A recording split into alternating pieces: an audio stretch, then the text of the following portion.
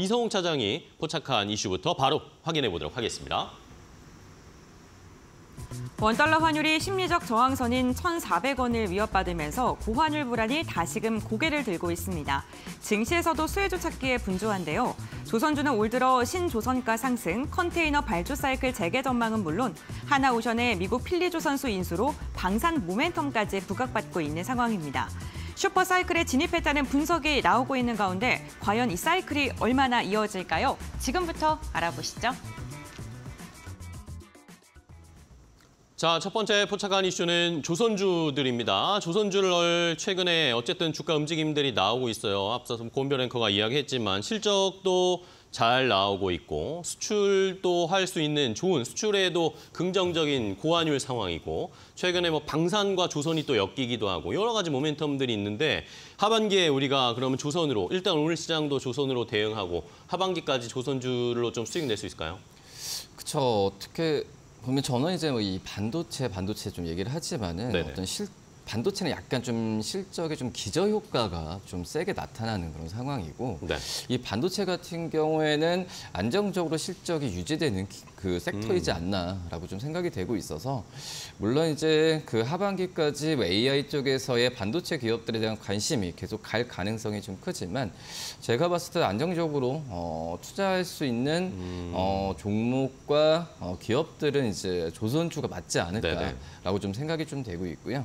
이 조선주들 같은 경우에는 크게 세 가지가 이제 매크로 지표죠. 이 조선가, 신조선가 지수랑 그리고 이 배를 만드는 가장 큰 어, 원료라고 할 수 있는 후판 가격 그리고 이 환율이 제일 중요하다라고 좀 볼 수 있겠는데 전 세계 다 공통적입니다. 이 배에 대해서 이 거래하는 게 다 달러로 좀 거래를 하고 있기 때문에 환율이 지금 1,490원, 뭐 1,400원대 얘기를 하고 있는데 뭐 그런 상황이 바로 이제 그 조선 업종의 실적에 큰 영향을 미친다 라고 좀 볼 수 있겠고요. 지금 현재 본다고 하더라도 이 신조선가 같은 경우에도 굉장히 지금 그 10년만 어떤 사이클이 크게 좀 나오고 있는 그런 상황인데 우선 지난달 지난달 지난주까지로 봤을 때도 187.02를 기록했거든요. 네. 어, 2008년 9월에 역사적 최고점 찍은 이후에 어, 다시 한번 이 신조선가 지수에 대한 부분이 좋아지면서 시장에서 유동성이 강하게 몰리는 걸로 생각이 되고 있고 결국은 봤을 때도 이 신조선가 지수가 올랐다는 건 그만큼 이 조선에 대한 어, 어떤 수요가 굉장히 많다라는 걸 증명하거든요. 뭐 그런 점에서 보면은 지금 조선 업종에 대한 어, 관심은 다시 한 번쯤 올라가는 부분이 약간 그런 것도 있는 것 같아요. 지금 약간 엔비디아나 반도체주들이 어, 잠깐 고점을 에서 이제 네. 머물러 있는 고점에서 뚫지 못하는 그런 부분이 유동성이 좀 몰리고 있지 않나 그런 판단도 되고 있습니다. 네. 자, 오늘 말씀해 주신 것처럼 뭐 전반적으로 상황은 너무나 좋습니다. 여기다가 뭐 지정학적 리스크가 또 발생을 하고 있는 상황이기 때문에 지금 조선에 대한 배에 대한 수요들도 굉장히 많다. 그런 이야기 뭐 큰 배든 작은 배든 지금 어쨌든 빨리빨리 어, 받아야 되는 상황이다라는 그런 어, 이점들도 있는 것 같은데 근데 어쨌든 신조선가 조선가 지수 말씀을 해주셨는데 고점까지 지금 거의 다 왔단 말입니다. 네. 근데 이게 또 역사적 고점이었잖아요. 그 네, 전에 네, 2008년이 네. 그러면은 또 거기 맞고 신조선가 지수 떨어지면 같이 또 약간 관심 밖에서 멀어지는 거 아닌가 그런 걱정도 해볼 수 있지 않을까요? 근데 저는 지금 봤을 때도 이 조선에 대한 수요가 단순 어떤 경기가 좋아지는 게 아니라 네. 코로나로 인한 교체 수요가 어, 지금 많기 때문에 이 신조선가 지수 올라가고 있다고 판단되고 음. 있거든요. 그렇기 때문에 고점을 찍고 내려가는 부분에 있어서는 어, 보다도 제가 봤을 때는 그 오히려 계속 이제 그 고점을 경신할 가능성이 어. 높다라고 좀 생각이 좀 되고 있고요. 그리고 어, 지금 이제 우리나라 같은 경우에도 어, 일반적인 저가 선사보다도 이 어떤 LNG 암모니아선 이 마진이 많이 남는 쪽에서의 드라이브는 많이 걸고 어, 있는 상황이고 그리고 어, 원래는 좀 이따 얘기 좀 말씀 어, 좀 나중에 말씀을 드리려고 했는데 네네. 지금 조선주들 같은 경우가 단순 어떤 이 매크로 지표가 좋아서 가는 것도 있지만 중요한 어. 부분이 종목별로 봤을 때도 이 방산업 방산 사업 부분이 연결된 기업들이 더 많이 잘 가고 어. 있거든요. 그렇기 때문에 이 신조선가 지수 외에 여러 가지 부가적으로 더 올라갈 수 있을 만한 모멘텀은 더 있지 않을까라고 좀 생각이 됩니다. 네, 알겠, 알겠습니다. 시장의 전반적인 분위기 자체도 좋은데 개별 기업 자체만으로도 지금 모멘텀들이 좋은 상황이 겹쳐지고 있다. 조선 빅사이클 뭐 텐베거 이야기 계속 나왔었는데 뭐 천천히 가지만 어쨌든 계속 올라가고 있습니다. 자, 그럼 조선주들 최근 흐름 어떨까요? 말씀을 뭐 살짝 드리면 천천히 가고 있는데 어느 정도 움직임 보이고 있는지 고은별 앵커와 함께 조선주들의 흐름 확인해 보시죠. 네, 조선주들의 최근 흐름 함께 확인해 보겠습니다. 조선 업종 긍정적인 전망과 함께 전거래일에도 가격 상승이 나온 종목들이 참 많았습니다. 특히나 추세적으로 봤을 때 우상향을 꾸준하게 이어가고 있는 종목들이 어, 많았던 것으로 확인되고 있는데요. 어, 특히나 실적에 대한 기대감이 있는 조선 3사에 대한 기대감 점점 더 커지고 있습니다. 그런데 이 조선 3사 중에 실적에 대한 기대감이 가장 큰 건 역시나 HD 한국조선해양이겠죠. 전일에도 1.7% 가량의 오름세를 보였고요. 5일 차트를 보더라도 가장 견조한 상승세를 이어가고 있습니다. 어, 만약에 어, 이번에 프랑스 선사와의 스무척 계약에 대한 성공이 진행되게 된다면 어, 올해 수주 목표액을 상반기 만에 다 달성할 수 있다라는 전망이 나오고 있고요. 지금까지만 하더라도 89%를 달성한 것으로 확인되고 있습니다. 최근 시가총액도 10조 클럽에 들어가면서 3년 만에 10조 클럽에 다시금 유입되기도 했고요. 외국인이 이달 들어서 단 하루도 빠짐없이 연일 순매수를 하고 있습니다. 하나오션 같은 경우에는 0.7%가량의 오름세가 나왔습니다.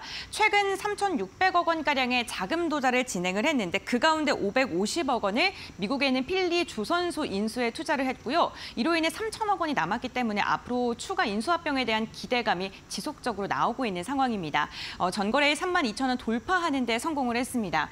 예, 다만 이렇게 조선 3대장 중에 다소 아쉬운 수급 흐름이 나타나고 있는 건 삼성중공업인데요. 기관이 무려 11거래일 연속 순매도 기조를 이어가고 있습니다. 최근 러시아 조선소의 일방적인 수주 취소 소식도 들려왔는데 이런 지정학적 리스크로 인한 취소에 대한 리스크도 계속 염두를 해둬야 된다라는 분석 나오고 있습니다. 세진중공업 같은 경우 두 자릿대 강세 나왔는데요. 어제 22년 이후 최고가를 돌파하는 데 성공했고요. STX 엔진 같은 경우에도 3%가량의 오름세가 나왔습니다. 7 거래일 연속 주가 상승 이어지면서 52주 신고가를 돌파했고요. 기관이 무려 13거래일 연속 담아냈습니다. 어, 특히나 조선과 방산 모멘텀 함께 엮이는 종목 주목해야 된다라고 말씀해 주셨는데 SX는 K9 자주포와 함께 연관되어 있는 종목이기도 합니다. 그렇다면 이런 조선 관련 기업들 가운데 어떠한 종목을 눈여겨봐야 될까요? 지금부터 알아보시죠. 자, 조선주들의 흐름 좋았습니다. 어제 특히 뭐 시장에서 반도체가 좋지 않았는데 오히려 조선 쪽으로 시선이 많이 쏠리면서 어제 조금 더 부각이 된 것 같고요. 자, 그러면 관련해서 많은 투자자분들, 개인 투자자분들은 아무래도 조선 뭐 대형주를 많이 보십니다. 어떤 종목 보는 게 좋을까요? 처음에. 어, 우선 앞서 말씀드렸죠. 방산과 좀 엮여 있는 그런 기업들에 대한 관심을 좀 가져야 되는데 네. 이제 HD 현대중공업을 어, 말씀을 좀 드리도록 하겠습니다. HD 현대중공업이요? 어, 우선 이제 방산이라기보다는 이제 함선이죠. 네네. 함선이나 이쪽에서의 수주, 저 MRO에 대한 얘기 때문에 지금 관심 많이 받고 있는 그런 상황인데요. 뭐 그러기 때문에 결국은 이제 MRO 기지에 대한 부분에 있어서 이 진출을 한다는 것 자체가 미국 본토를 진출한다는 거거든요. 네. 이 HD 현대중공업 같은 경우에도 이 우리나라가 아니죠. 대부분 이제 조선 업체들이 해- 그 수출 쪽에서의 어, 실적이 좀 나와 주고 있는 상황인데 어 그러기 때문에 이 MRO 쪽 그 함선 쪽에서의 시장 진출 자체가 미국을 시작으로 했을 때는 추후에 뭐 호주나 페루 이거에 대한 얘기가 대한 얘기가 지금 협상이 나오주고 있는 상황이거든요. 뭐 그런 점에서 본다고 한다면 HD 현대중공업이 다른 이 그 어떤 조선 쪽에서의 어 조선 쪽에서의 그 사, 사업 부분만 네. 이 본사업 부분만 지- 그 집중하고 있는 기업들 대비해서는 지금은 어 관심이 방산주들도 함께 지금 관심 받은 상황에서 유리하다라고 좀 생각이 좀 되고 있고요. 어 그런 걸 봤을 때는 지금 1분기나 어떤 2분기에 대한 실적은 어 1분기 때 생각보다 좀 낮았었거든요. 네. 여러 환입금이나 어, 부분에 있어서도 좀 낮았었는데 이런 부분이 정상화되는 상황에서는 이 실적에 대한 어, 어, 기저효과가 굉장히 좀 세게 나타날 가능성이 좀 있는 게 바로 이제 HD 현대중공업이다라고 좀 볼 수 있겠고 그리고 이제 뭐 주가가 좀 상반기 때 안 좋았던 게 이제 한국조선해양의 이제 블록들 여러 가지 좀 있었는데 네네. 뭐 그거에 대한 이슈 부분 같은 경우에는 주가에 충분히 좀 반영이 어, 되지 않았나라고 생각이 되면서 지금 현재 어, 신고가를 기록했다는 것 자체가 저는 의미가 굉장히 좀 있으면서 관심을 계속 가져야 되지 않을까 판단됩니다. 네, 좋습니다. 자, HD 현대중공업 첫 번째 종목으로 대형주를 주셨어요. 15만 원 맞고 계속 떨어지다가 어제 결국엔 15만 원 돌파하면서 안착을 했어요. 기관 매수도 계속 들어오고 HD 현대중공업도 한, 한국 조선해양처럼 좀 따라갈 수 있을지 한번 기대를 해보겠고 한 종목 더 볼까요? 어, 이번에는 조선 기자재 업체인데요. 바로 이제 세진중공업을 세진중공업이 어제 많이 올랐어요. 네, 왜, 세진- 왜 많이 올랐어요? 근데 세진중공업의 이 기, 세진중공업의 이 사업 부분에 대한 특수가 좀 있죠. 어떻게 보면은 이 배 안에서 배를 만드는 게 아니라 배에서 이 선실이라고 할 수 있겠죠. 네네. 뭐 탱크선 같은 이 기업 만드는 기업이라고 말씀드릴 수 있겠는데 우선은 지금 현재 이 세진중공업이 그 전에는 이 HD 현대중공업 또 HD 이 그룹에 대한 납품이 대부분이었다고 본다고 한다면 네네. 지금 이제 하나오션 또 이제 삼성중공업 그러니까 고객사에 대한 부분이 다변화되고 있는 어. 그런 상황이거든요. 뭐 그런 점에서 봤을 때는 고객사 다변화는 역시 슈퍼사이클이 좀 오는 시기에서는 어, 굉장히 좀 긍정적인 요소다라고 좀 볼 수 있겠고 그리고 이제 세진중공업 같은 경우가 어, 우선 이 토지를 매입하고 음, 그리고 어, 생산 라인을 증설하는 부분에 있어서 어, 눈에 띄 눈에 띄는 부분은 네. 어, 시장에서 좋게 평가를 한다는 게 음. 어, 과감하게 지금 많이 하고 있어요. 지금 현재 본다고 하더라도 이 우봉 부지 10만 평의 선해 공장 설비를 지금 그 구축하고 있는 상황이기 때문에 음. 이 가스 선용 캐파를 현재 30척 에서 지금 60척으로 좀 늘리는 상황이라고 좀 볼 수 있거든요. 네네. 뭐 그러기 때문에 이 가스선에 대한 건조 부분이 굉장히 활발하게 되는 현재 시점에서 이 세진중공업에 대한 관심을 좀 꾸준하게 가져야 되는 게 맞지 않을까 판단됩니다. 네, 알겠습니다. 자, 세진중공업 뭐 작년 연말부터 시작해서 보면 차트 길게 보면 계속 올라가고 있고요. 어제 결국에 시세 한번 분출을 하면서 거래량도 좀 실리면서 어, 사- 신고가를 기록을 하고 있습니다. 9,830원까지 어제 찍었 다가 좀 내려왔는데 중소형주 중에서도 조선주 하나 잘 체크를 해보시겠고요. 자, 그럼 이번에 염정 차장님도 조선주 관심 많으시잖아요. 그죠? 네, 어떤 종목 볼까요? 어, 저는 하나오션 볼 건데요. 하나오션. 네. 이 아. 필리조선소 인수 이야기 나왔잖아요. 이게 맞아요. 네. 뭐 일단은 뭐 주가는 반응하는데 이게 음. 어, 너무 부담되는 거 아닌가? 이게 정말 호재 맞냐? 이런 이야기들도 사실 비판적으로 좀 나와요. 어떻게 보세요? 네, 어, 앞서서도 말씀하셨듯이 조선업뿐 아니고 이제 방산과의 네. 연계성에 대한 부분이 부각되면서 조선업 종 예, 조선업종 중에서도 관련된 종목들의 흐름을 좀 봐야겠는데요. 네네. 일단은 뭐 필리조선소 인수 지난 주에 발생한 일이죠. 그렇죠. 어, 하나 시스템과 하나 오션이 어, 6대 4 비율로 필리조선소를 인수를 했는데 여기에는 뭐 말씀하신 대로 뭐 우려 섞인 소리도 목소리도 좀 6년째 적자래요. 목소리도 있지만 어 이제 그럼 저도 이제 그 생각을 했어요. 어 적자이 만약에 정말로 잘 되는 기업이었으면은 이렇게 안 매각을? 했을까요? 그렇죠. 네, 하나오션 같은 경우에 필리조 선수를 인수한 목적이 중요한 거다라고 음. 생각을 하는데 어, 우리가 보통 지금 선박이라든지 이런 데 수주에 대한 부분이 부분이 뭐 중동 지역이라든지 네. 뭐 타 지역 사실 미국 쪽에 대한 수주에 대한 이야기 많이 못 들으셨잖아요. 네, 그렇죠.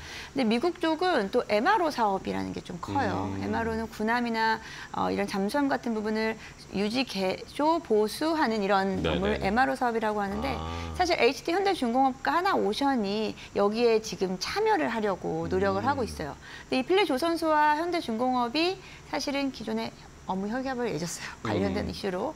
어 근데 여기서 필리 조선소를 하나 오션이 인수해 버리니까 그러니까요. 어 이제 하나 어찌 보면 현대중공업 입장에서 조금 어, 애매한 상황이 돼버린. 거죠. 예.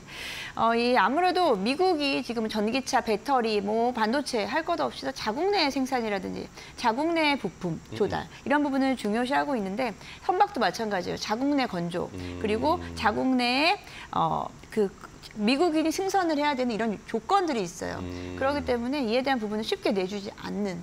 그래서 이제 필리조선소에 대한 부분을 인수함으로 인해서 한화오션 그리고 한화시스템의 소프트웨어와 함께 이런 부분들이 같이 접목이 되면서 시너지를 좀 낼 수 있을 거다. 기존의 사업 영역을 좀 확대하면서 특히 또 하나 한화가 또 방산에 강한 기업이잖아요. 네, 그렇죠. 그러다 보니까 이에 대한 value chain을 좀 넓혀가는 차원에서 저는 긍정적이다라고 좀 보고 있습니다. 네, 좋습니다. 한화오션 뭐 말씀해 주신 대로 어쨌든 미국의 해군과 이렇게 MRO 사업을 추진할 수 있는 새로운 판로를 개척을 한 거니까 그 전까지는 뭐 어쨌든 필리조선소가 뭐 어, 적자 나내고 팔이 날렸다고 하지만 하나가 과연 어떻게 이걸 활용해서 돈을 많이 벌어들일 수 있을지 일단은 어, 방산 쪽과 조선이 또 연계되는 하나오션 어, 뭐 시너지가 나고 있는 상황입니다. 주가 흐름도 계속해서 저희 잘 체크해 보도록 하겠습니다.